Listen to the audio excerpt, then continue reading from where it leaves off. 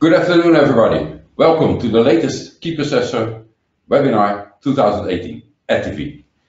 Um, before I start with, with the webinar and explaining what we're going to do, first some house rules. I think for everybody who was logged in uh, the first time or the other the other webinars already knows it.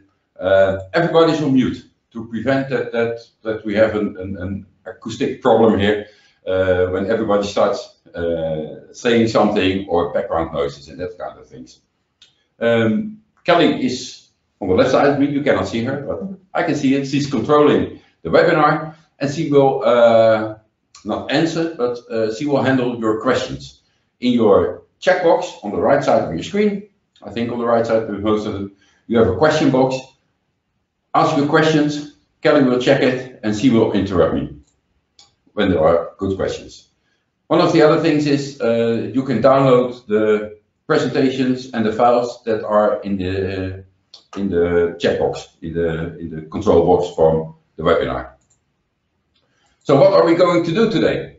The last uh, presentation, the last webinar of 2018, uh, what can you expect?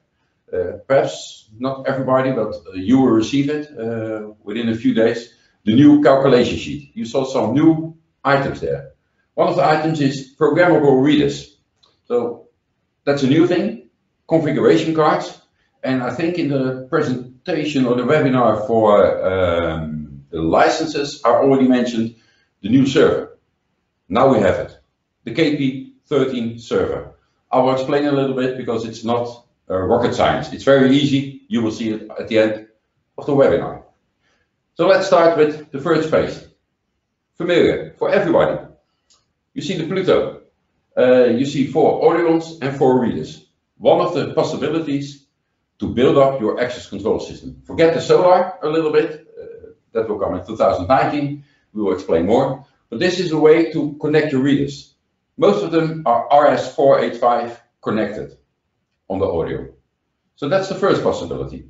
Then we have the second uh, slide with another possibility. And that's the KP bus line. You still see the readers Uh, the Pluto with the four Orions stacked. You can still connect readers on it, but you also can connect an RS485 bus line on the on each Orion, one Orion, and you can connect eight Orions. And on the Orions you can connect readers. What is the difference between both? The first one was stacked, it's RS485 connection. This one is connect on the on the screw connectors and it's a read clock data output and not an RS485 protocol. But that's standard, that's what we do already now for a few years. So keep this in mind for later. When you also look at the calculation sheet, you saw some standard price lists or, or standard articles, reader articles. You see nine, nine different type of readers. For serial number, for MIFARE, and for DESFire. And all has a standard key processor protocol. And most of the time it's a clock data protocol. That's what we standard. It's historical, but that's what how we use it and still using it in the Netherlands.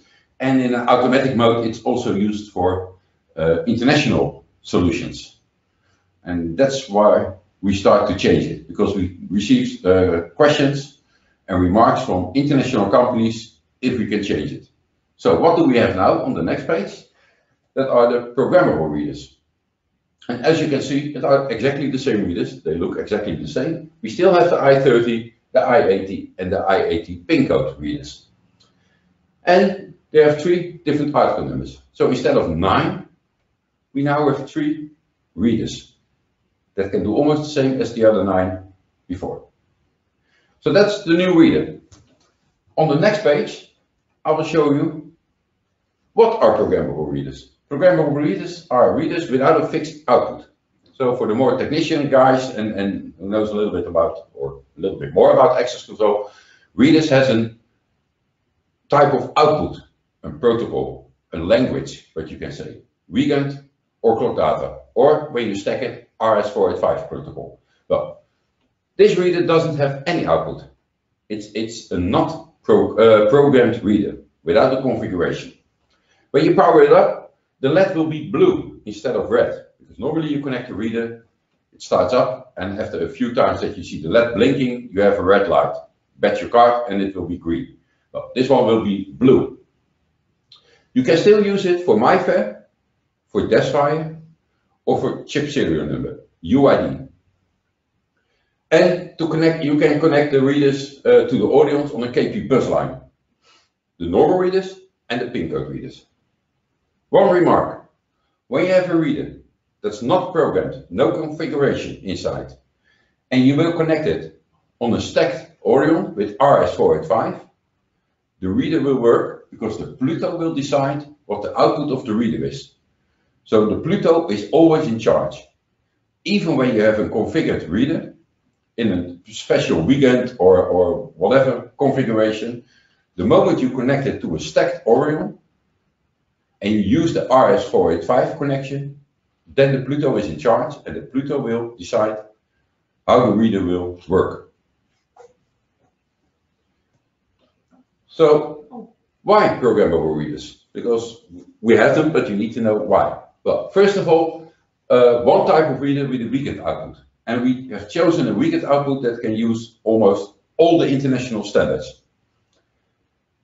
Um, easier for you, you have one type of reader on stock. You don't have different type of boxes with different type of readers, with different type of uh, configuration and outputs and that kind of things. It's one reader, ship it to your, to your installer or your system integrator, and they can do the configuration by themselves. Ordering is therefore also easier. It's always the same. Three article numbers, you uh, order the, uh, the readers, and with the configuration card, you will learn later what the configuration card is. Uh, you can start using the readers. Another one, cable distance. When you look at, at RS485 and Wiegand, they have the same cable distance, length of the cable between the audio and the reader, under 20 meters. The standard clock data, what we normally use at key processor, is 50 meters. So this is much easier because when you use it on a KP bus line as a Wiegand reader or RS485, and you can change it because the, the behavior of the reader will change, it is always 120 meters. That's much easier for you to calculate the system. And the reader can be used on the bus line or the stacked Orion. I already mentioned that. One of the other things is one card number in iProtect. So even when you have the Wiegand protocol or you're using the RS485 protocol, it's one card number. So one card number one is always card number one. So we know now what we have, we know why we have it.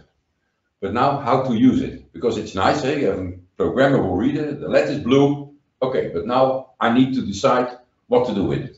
Well, we use configuration cards. I think, and I'm sure uh, a few of you, I know the guys also, the friends are uh, in Poland are using it, a configuration card. That means when you batch your card or when you power up your reader, it has a blue LED, then you start using a configuration card to decide what is the output of the reader. So what type of configuration, uh, configuration cards do we have?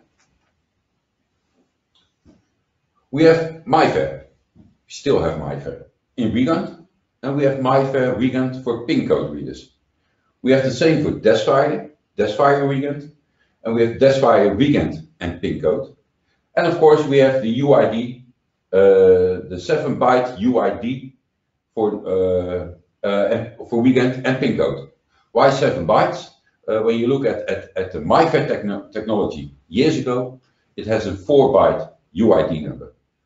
Now they change it also in, uh, with DESFire to a 7 byte. So we have chosen the long, longest one. Even when you use the 4 byte, we will add some, some numbers, zeros, to the length of the of the uh, of the card information, so it will be a 7 byte. But it are zeros, so it doesn't calculate. It will always work. What is the most important thing? Because this is for new systems. It's not for, for the existing systems, uh, because you still can, can order readers in, in, the, in the old situation or the old way as you do now. But for the new ones, you can, you can do it like this. But be in mind, uh, uh, be in mind yeah, that you have three different type of security levels. When you start using the 7 byte UID, it's the lowest level that you can reach. Why? Everybody can read it. There is no encryption, there is no protocol, there's no security key.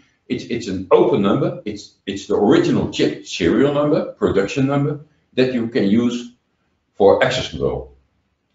And a lot of them, uh, uh, companies are doing that. Then we have MIFARE. MIFARE is sector number. It's protected by a security key, but as everybody knows, MIFARE is hacked. You can copy a card very easily. Buy for $100 an, an, an unit on, on, uh, on the internet, and you can copy a MIFARE card. So yes, it has much more security as 7-byte UID, but there are some risks on MIFARE. When you start using Desfire, at this moment, they say it will cost at least 30 years before you can hack or crack the code in Desfire. Everything what's made by people can be cracked and hacked by Desfire or by people. So, but it's the most safe uh, protocol that you can use. And in, in terms of money, there is no difference at all for an UID reader, a MIFARE reader, or a Desfire reader. The only thing is, at this moment, I think the Desfire cards are a little bit more expensive, but not so much as it was one or two years ago. So there are almost no reasons why you shouldn't advise your customers to go directly to Desfire. But that are the configuration cards. And what are we going to do with the configuration card? First of all, for your guys, we will send one set, so previous slide uh, that we showed you, six different type of configuration cards. We will send it to you, so you can use it. You can order extra cards for your partners, your system integrators, or your installers uh, when they want to do the configuration by themselves. Logistic will ship the configuration card in a new packaging like this one. And when you see it, here will be the card. There will be information on the card. What type of card is it? Is it a Wiegand or 7-byte UID or a Desfire, Wiegand or Wiegand with PIN? So you can see everything. And there is a short explanation how to program the reader. So power it up, batch your configuration card. That's it. Nothing more. So I think everybody can do this. And we have an order process with a flowchart. And that's something different because we can do, well, not everything, but we, we like to do as much as possible to prevent mistakes. But we're human beings and everybody makes mistakes. So we have also a flowchart to, to, to control the order process. So First of all, here on the right top, that's the normal process of ordering readers in the way that you are doing now. So with the, with the long list of nine different type of readers. So everything is set, we know it, and we process the order and we ship it to you. Now we get the programmed readers. You're ordering programmable readers. The moment that you already know, like a few of you already do, and they already have a configuration card, you already know I have programmable readers. Yes, I have a configuration card. Or yes, ship me a configuration card. You are on yes. And when it's yes, it comes to the order desk. They process the order and they will send the readers and the configuration cards to you. Because it's clear, you know what you're doing. But it can be a mistake or an extension on the system and you don't need the configuration card or whatever. Then you go for this line. And then our order desk will see the order and they say, hey, they don't order a configuration card. I don't see any information if they already have it. Is it an existing system? Is it an extension of the system? We don't know. So they send an email to you. And on the email, there are a few questions. I think it will cost you, as professionals, a minute to, to fill it in, send it back, and when that's okay, it comes automatically on the order desk, and they will process the order, and they will ship it to you.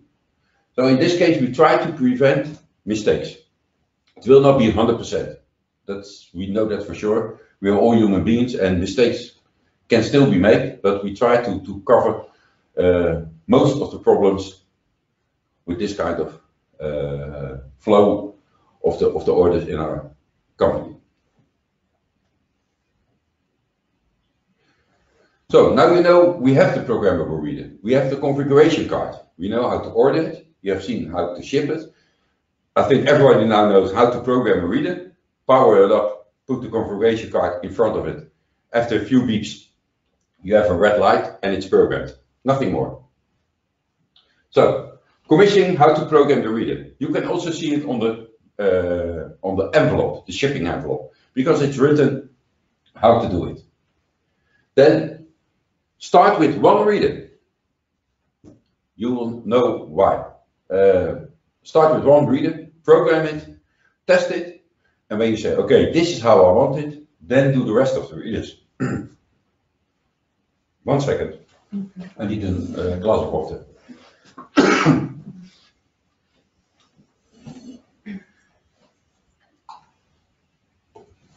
so I'm back. Because that will be this one. Uh, first of all, when you have programmed the reader and it's working, you can connect it to iProtect, to the Audience, and to the Pluto. Batch the card two times to a working reader. iProtect will identify the card, and iProtect will also identify the output of your reader and the card, because it will say, hey, you're on Wiegand this, or you're a MIFARE that, or that's why that. So it will be done most of the times automatically, without all the specials that we have.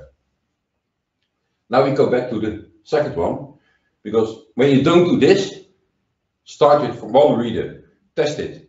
If it's working, then do the rest. Because when you don't do it and you program all the readers and it's wrong, you're in this, the first one, the fourth uh, line, and that's sending back all the readers at this moment. We are the only one who can reset a programmed reader, a faulty programmed reader, back to default mode.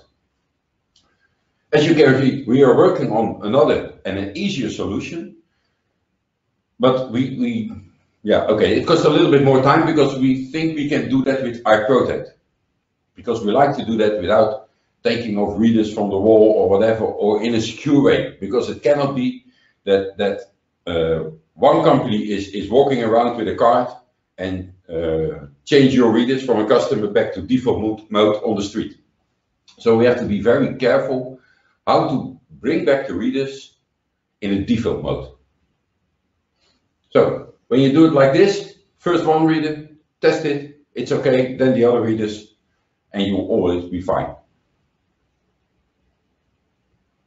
So, okay, that was that was the now we're going a little bit fast, but okay, that's good. Uh, that was the programmable readers and the configuration cards, how to do it, how to order it, and what are the, the, the points of attention uh, when you do it. And the whole idea is to make it easier for you. And not for the existing readers, because we still have that flow of, of, of nine different type of readers, but for new systems, new customers, it's much easier to only to use three type of readers. Now we go directly to the KP13 server because I don't hear any questions. So No, okay, then the perhaps my explanation is good or it, it's it's simple and everybody knows it.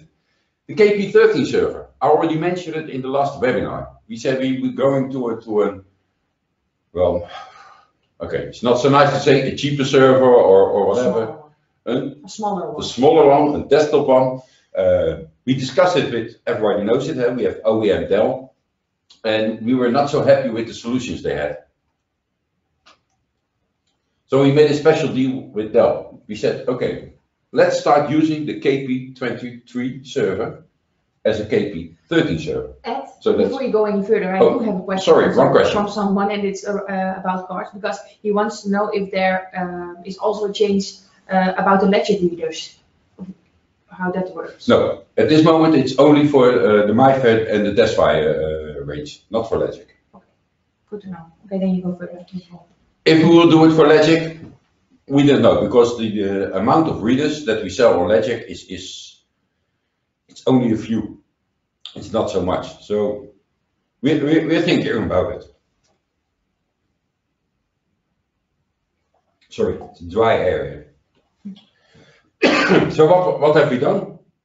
We said we, take the KP23 server, the OEM Dell, that we are using at this moment, but without the UPS and 4 gigabyte internal memory instead of 8 gigabyte internal memory. And then you can use it on iProtect Access. So not iProtect Security, only access control.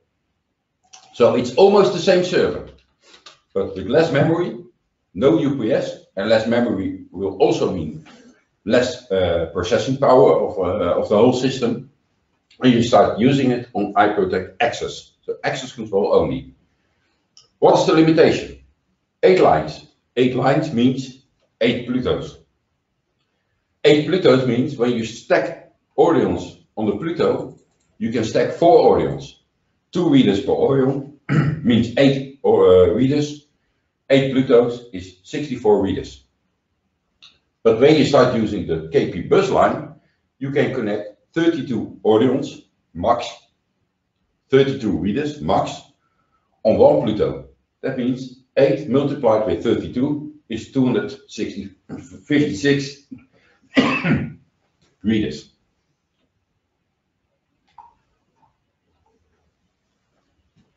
So that are the limitations.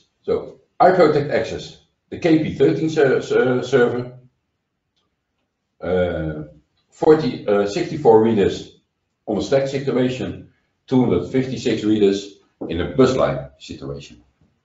So that's the way to use the KP13 server. I'm not sure if everybody already received the new price list, but you will receive it uh, this week. Um, and you will see it's it's a much better price on a better price level than the KP23 server. But only for iProtect Access, right? Only for iProtect Access, yeah. So not security, yeah. We're not communicating with Sense or with uh, uh, Commend Intercom or with an intrusion alarm system. Access only.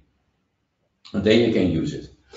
As you can see in the checkbox from, from your webinar, uh, you can download the presentation and you can download already the datasheet of the server. It's one datasheet for all the three servers. So you will see the KP13, 23, and the 43, yeah, and uh, three different pages of specs, specifications of the reader.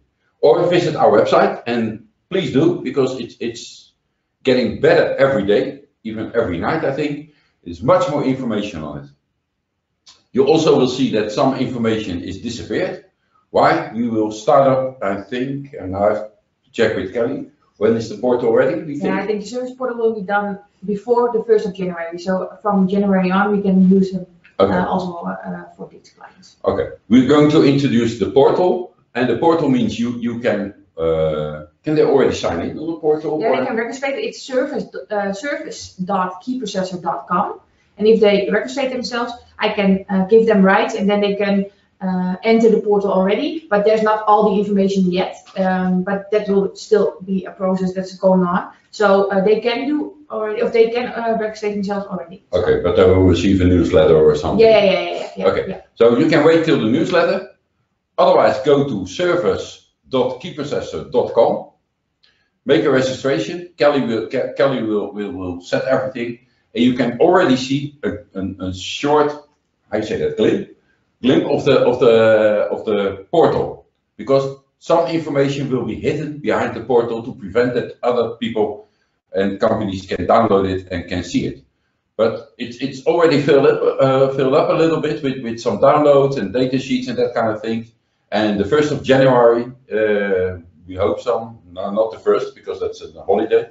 So the second of January, January, uh, we have to have uh, to have the portal Yeah. up and running. We are trying really hard. But you will receive also a newsletter, and in the newsletter uh, we will inform you how to how to register on the on the Key Processor portal to download that type of information. I do still uh, have a question about Okay. the uh, sheet he before this one, um, but he asks why there are uh, 32, where, why it says 32 Orions per Pluto, and the numbers are 8 times 32 is 256, but the 8 is the amount of Orions that can be stacked to the Pluto. So No, that's where the 8 comes from, right? no, the eight, Oh, the eight comes from the amount of Plutos. Oh, Plutos. Okay. So the eight lines, and a line is a Pluto.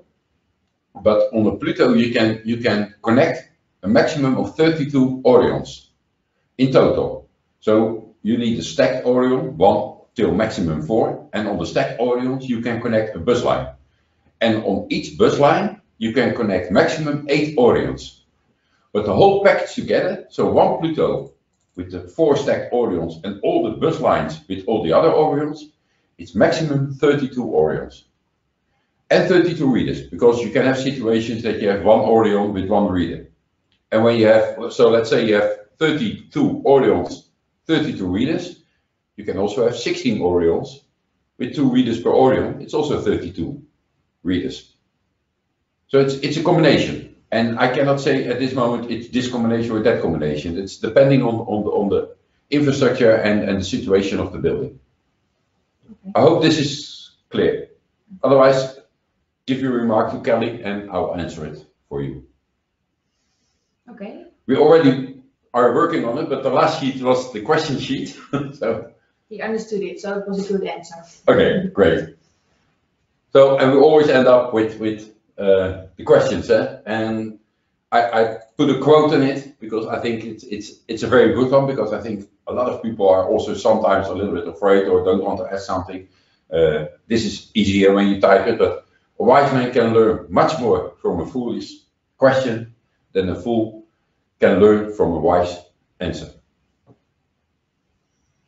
Uh, So yeah, I'm sorry, yeah. when there are no questions anymore, then I would like to thank you for, for let's say, and Kelly, for the whole year, for, for uh, uh, watching the EdTV and the Key Processor webinars. And I hope you will do that also in 2019. So watch out, we will be back and you will receive a newsletter with information from us. And of course, information from the programmable readers, the new uh, price list, calculation sheets, etc. this year. Thank you very much and see you next time. Bye bye.